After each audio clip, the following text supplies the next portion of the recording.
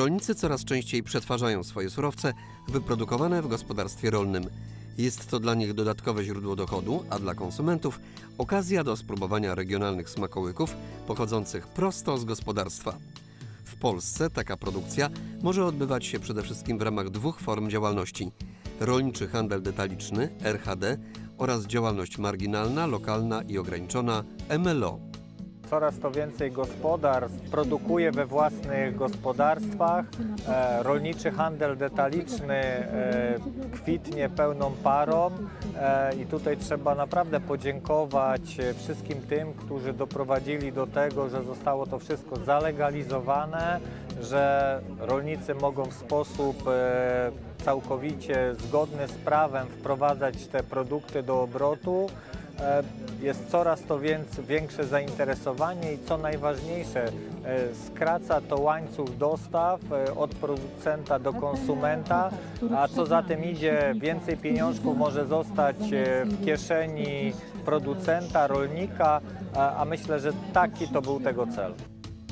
Rolniczy handel detaliczny to jedna z form handlu, w ramach którego możliwe jest m.in. przetwórstwo i sprzedaż wytworzonej żywności. Warunkiem jest, aby taka żywność pochodziła w całości lub w części z własnej uprawy, hodowli lub chowu, a sprzedaż musi odbywać się z zachowaniem limitów wskazanych w rozporządzeniu oraz limitu przychodów z takiej sprzedaży do kwoty 40 tysięcy złotych, o ile producent chce korzystać z ulg podatkowych. W ten sposób swoje miody sprzedaje pani Katarzyna Zalińska z Kawęczyna koło Mielca. Jest zadowolona z tego rodzaju działalności.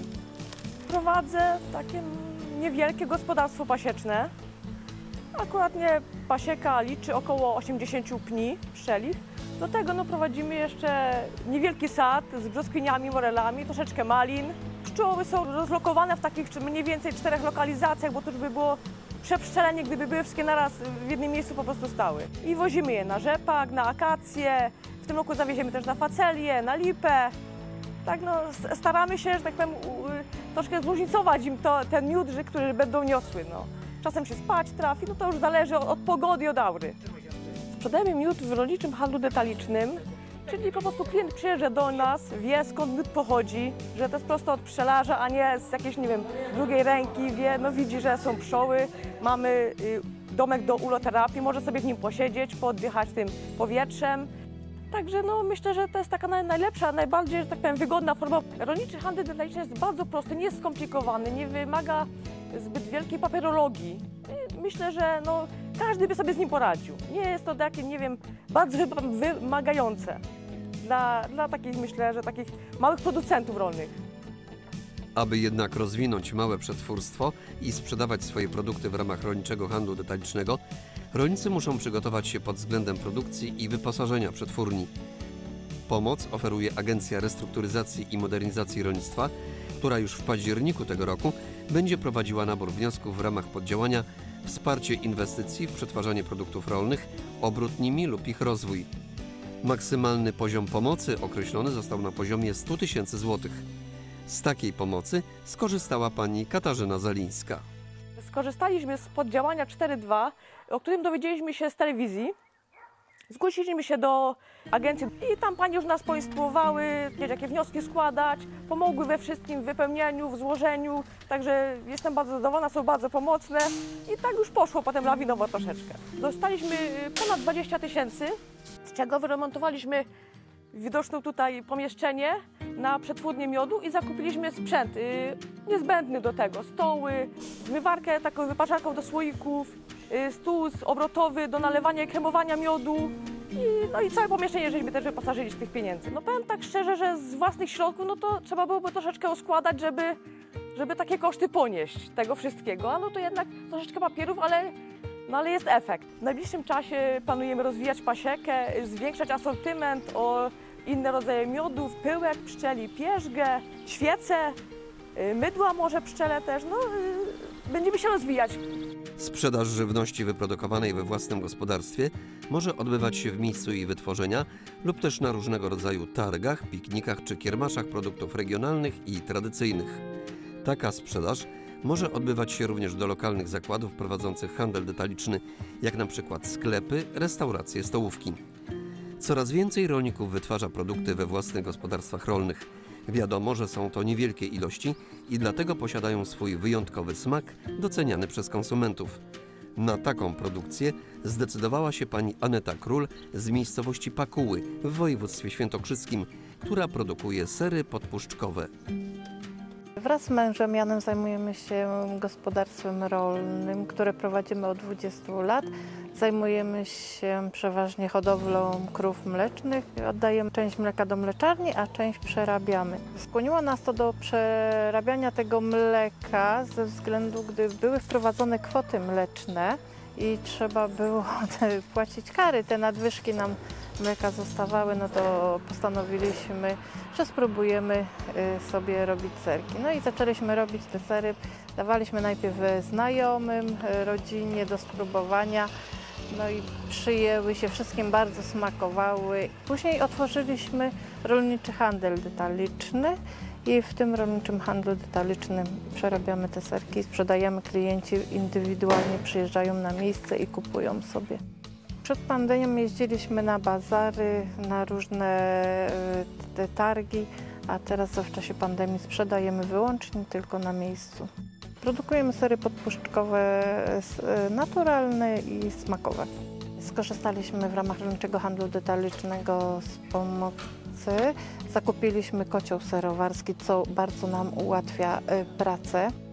I e, jeszcze fotowoltaikę, no bo oczywiście kocioł jest na prąd. Kocioł serowarski i fotowoltaika kosztowała nas 80 tysięcy, a dofinansowania dostaliśmy 35 tysięcy. Wsparły nas te pieniążki, zawsze to jest e, mniej, nie do 35 tysięcy, no to jest też spora kwota. Środki uzyskane w ramach poddziałania Wsparcie inwestycji w przetwarzanie produktów rolnych, obrót nimi lub ich rozwój można przeznaczyć na różne cele. Innymi na budowę, modernizację lub przebudowę budynków produkcyjnych lub maszynowych, zakup maszyn do produkcji czy oprogramowania. W Centrum Doradztwa Rolniczego Oddział w Radomiu rolnicy mogą na własne oczy zobaczyć linie technologiczne do przerobu surowców rolnych. Mogą również skorzystać ze szkoleń w tym zakresie. Mamy cztery pokazowe linie technologiczne do przetwórstwa e, na skalę przyzagrodową. E, Nazywa się to Centrum Praktycznego Szkolenia na, w skali małego przetwórstwa. E, W skład tych linii wchodzą e, cztery zestawy e, urządzeń. Po pierwsze przetwórstwo zbóż, czyli posiadamy młynek, do tego separator, system odpylania. Możemy pokazać jak się robi mąkę razową z pełnego przemiału. Mamy linię do tłoczenia soków bezpośrednich, takich, które są teraz modne. Na bazie tego soku, który produkujemy, już jesteśmy w stanie wyprodukować ocet. Po trzecie, e, mamy linię do przerobu mięsnego, czyli pełne wyposażenie w zakresie pełnego zakresu przerobu półtusz wieprzowych czy ćwierci wołowych na e, wędliny. I dodatkowo e, jeszcze mamy zestaw urządzeń do produkcji mleczarskiej. Dla rolników korzyść jest e, zasadnicza. Przede wszystkim e, planując rozpoczęcie e, tego typu działalności, rolnik nie musi zastanawiać się i w ciemno podejmować decyzji, może do nas przyjechać, zobaczyć co potrzeba, żeby tego typu działalność uruchomić.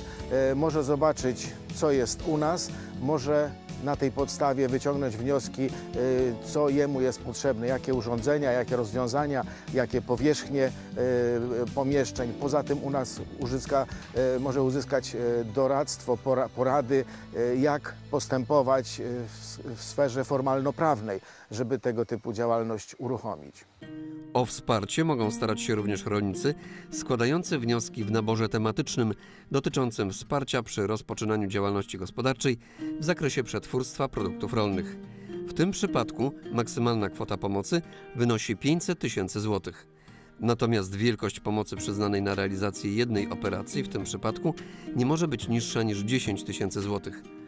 W Polsce jest wielu rolników, którzy rozwinęli swoją działalność przetwórczą w ramach działalności marginalnej, lokalnej i ograniczonej. Moja przygoda z serowarstwem zaczęła się od zorganizowanych warsztatów przez Ośrodek Doradztwa Rolniczego i tam jakby tak troszkę mi y, spodobało się to wszystko. Bardzo się zafascynowałam tym wszystkim, no i postanowiłam coś zacząć w tym kierunku działać. Trzeba mieć odpowiednie pomieszczenie, trzeba e, mieć odpowiednie warunki, przede wszystkim czystość, higiena, no i e, badając swoje produkty, no ja mam już, e, że tak powiem, taką łatwiejszą sytuację, ponieważ ode mnie odbiera e, spółdzielnia mleko i moje mleko jest badane, więc ja już wiem, że mój produkt jest bezpieczny e, i mogę śmiało dalej go jakby używać do, do produkcji.